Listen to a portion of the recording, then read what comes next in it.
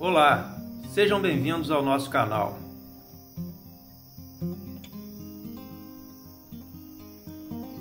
Além de enfeitar o jardim, a celose é uma planta comestível.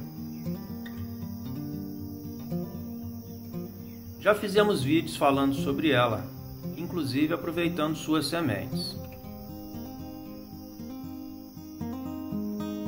Mas hoje vamos estar colhendo suas folhas para fazer um delicioso refogado.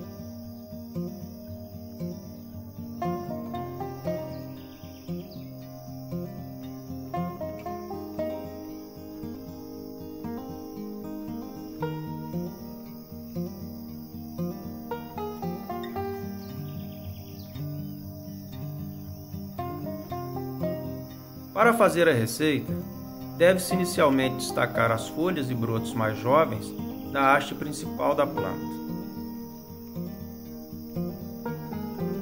As folhas mais velhas também podem ser consumidas, porém são mais fibrosas.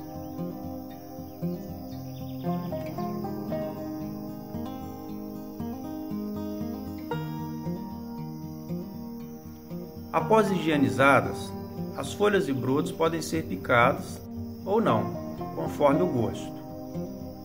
Nós preferimos deixar sem picar. Daí em diante, não tem segredo. É só refogar tudo como fazemos normalmente com outras folhosas. E da forma mais simples, com óleo, alho e cebola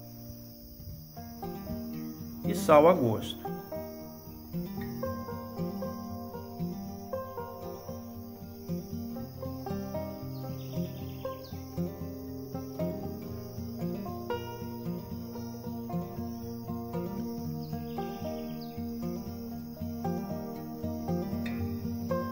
As folhas da celosa são muito nutritivas.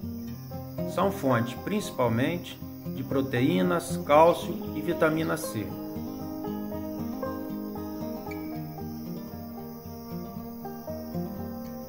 Até pouco tempo, acreditávamos que a celósia possuía muitos fatores antinutricionais. No entanto, vários estudos demonstram baixos teores dessas substâncias em suas folhas.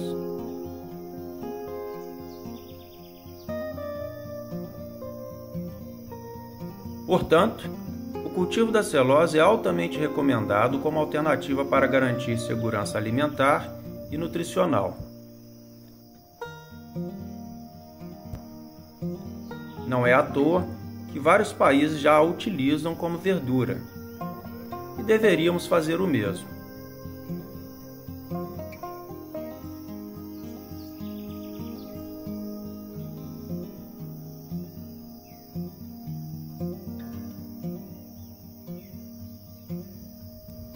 Como já dissemos em outro vídeo, o sabor da celose se assemelha ao do espinafre. Aqui, ela acompanha um prato de angu e tempê frito, feitos também com produtos de nosso quintal.